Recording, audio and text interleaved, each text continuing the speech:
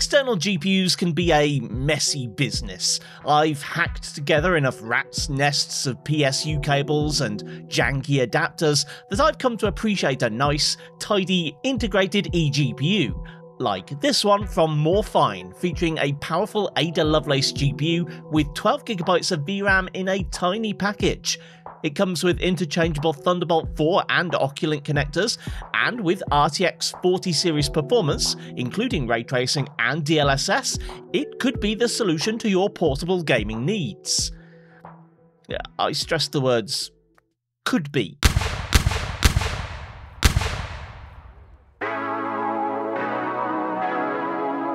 The Morefine G1 is available in a couple of options. The full-fat 16GB model, priced at £1,046 at current exchange rates, and this cut-down 12GB model, priced at £764. Unlike the DIY solutions I've put together in the past, these are not desktop GPUs but mobile ones. Nvidia calls them the RTX 4090M and 4080M respectively, However, this in no way lines up with the desktop cards that bear these names and shouldn't colour your expectations. The 4090M has 9728 shaders, about 40% less than the real 4090, and with 8GB less VRAM. This 4080 is closer to a 4070 Ti, which of course was originally intended to be the 12GB 4080 before Hardware Unboxed bullied Nvidia into changing their mind. It is still a mobile GPU, so it's somewhat lower clocked and with a lower TDP than you'd expect from a full-size desktop graphics card, but it's also absolutely tiny. Some mini PCs are actually bigger than this thing, though that is partly thanks to the external power brick. The small size does have cooling implications. The setup Morefine have developed actually seems to be fairly effective with adjustable fan profiles via a button press, but it can sound like a small hairdryer under gaming loads. Being a mobile GeForce GPU also brings with it some other problems, which I'll come back to later in the video, but uh, which might be a red flag. I'm testing the Morefine G1 4080M with a GMKtec Evo T1, which is an Intel Ultra 9 powered mini PC with both Oculink and Thunderbolt 4 connectors. Oculink is far less universal than Thunderbolt, but in theory it's superior in performance, and many devices can be hacked into using it. Sometimes literally, as you might need to cut a hole for the cable to pass through. Still, as Thunderbolt is far more common, I tested both, and as it turns out, which standard you choose very much affects whether or not you should buy it. starting relatively unproblematically with The Last of Us Part 2. This game isn't too hard for this class of GPU to run, and 12GB is absolutely enough for even this quite memory intensive console port. When connected over Oculink, performance is very much in line with what you might expect. It's in the ballpark of a desktop 5060 Ti, averaging above 60 at both 1080p and 1440p, and if you can stomach a locked 30 FPS, you can push it to 4K without DLSS. Swapping the Oculink and Thunderbolt modules is just the work of a few moments with the supplied hex key and a small Phillips screwdriver, and the result is an absolute faceplant by the 4080M. Seriously, it's like I performed a lobotomy on it. At 1080p, performance is halved. At 1440p, it's lost about 45%, and about a third at 4K. FYI, I double checked the results, rebooted the PC, and the integrated graphics were disabled for both Oculink and Thunderbolt tests. Nothing else was plugged in over Thunderbolt either, so honestly, I don't know where all the performance went. But it's not going to be the last time. Or even the worst. My Spider Man 2 benchmark run is a quick thwip along Broadway, and it generally produces a frame time graph that looks something like a six month overview of the price of Bitcoin, even on a fairly high end setup. In my Oculink tests, that's about what I got. 1080p is playable at a 60 plus average, while 1440p and 4K could probably benefit from some DLSS. I added some DLSS-Q to my ray tracing benchmarks, but this didn't help produce a 60 plus average at any resolution. This is actually quite a bit worse than a 5060 Ti, but that's not the biggest problem here. That's what happens when you plug in the G1 over Thunderbolt. The game gets absolutely torn to shreds. At 1080p and 1440p, there's some kind of bottleneck, meaning that neither run is different from the other, but that means both are averaging in the mid 20s and 1% lows are around 10 FPS. 4K actually takes a remarkably small drop compared to 1440p, but it's still only running at 20 FPS on average. Yeah, I know I could drop settings and get a higher frame rate, but that's not the point. The only difference between this and a playable experience is the port it's plugged into. After that bombshell, let's move on to a couple of lighter weight titles. Kingdom Come 2 glides along on the Oculink setup, remaining a solid 60 plus even at 1440p. 4K is a little disappointing, and you definitely want to turn on some DLSS at this point, but I'd still call it a good experience. Over Thunderbolt, there's a smaller bottleneck than the last two tests, but it's still substantial. At 1080p, we're now below 60 FPS. At 1440, it's below the 50 mark, and 4K hovers around 30. All of this is fixable with DLSS, but it's still a big waste of this GPU's potential performance. I thought stepping back a generation with Forza Horizon 5 might be doing the Thunderbolt port a favour, but honestly, it's really not. Over Oculink, the 4080M is handling the game like a dream. At 1080p and 1440p, completely maxed out with Extreme RT enabled, we're in high refresh rate territory, and your CPU might actually be a bottleneck if you have anything less potent than the 285H.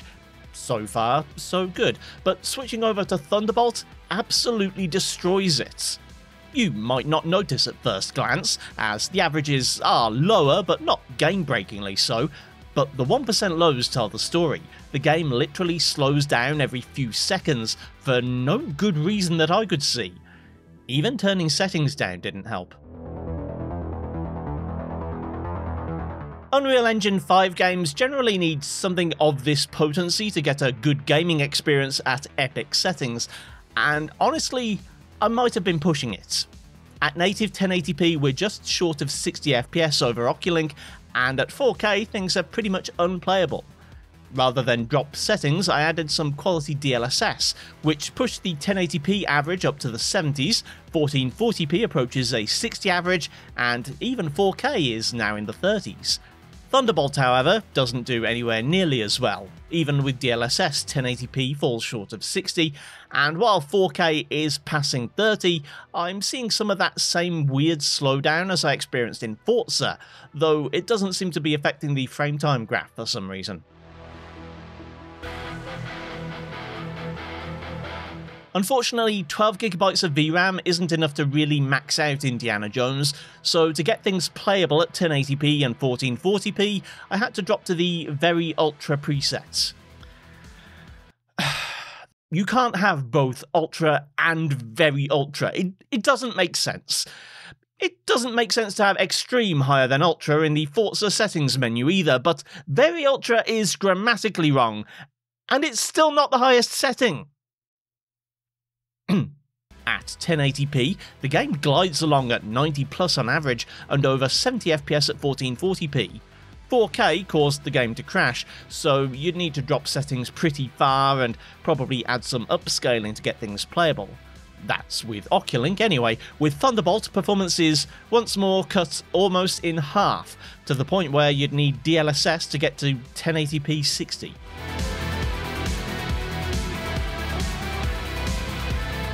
Finally, I wanted to round out the benchmarks with that perennial favourite of benchmarkers, Cyberpunk 2077. For once, the biggest bottleneck here was actually the Intel CPU. Perhaps a Ryzen would have done better, but in testing, the 1080p and 1440p numbers are a dead heat. Both are quite playable too, and while some would argue you could tolerate a 4K 30fps experience, I'd be inclined to add some DLSS to get into the 40s. I'd like to have some Thunderbolt results for comparison. except my Cyberpunk installation got corrupted and I didn't have time to install it again. Seriously, this video was supposed to have come out last Friday.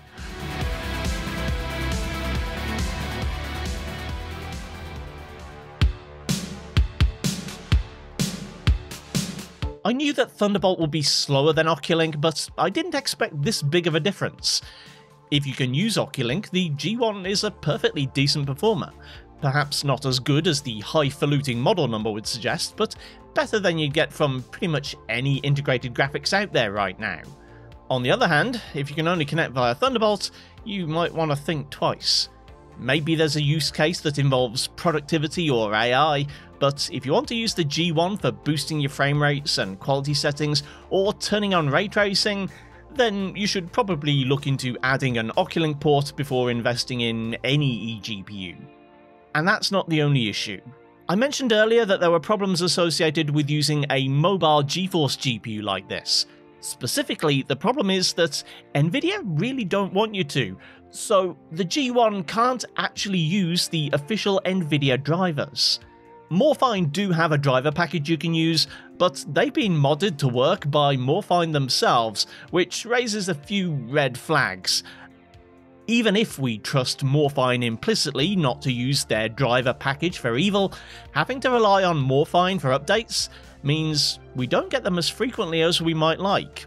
The version hosted at the time of recording was already a couple of months old, and while Morefine did suggest that the Nvidia app would allow for driver updates, that wasn't the case for me.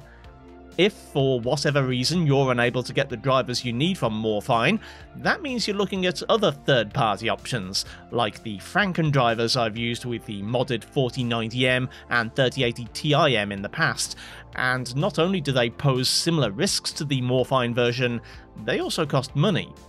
Not a lot of money, granted, but still.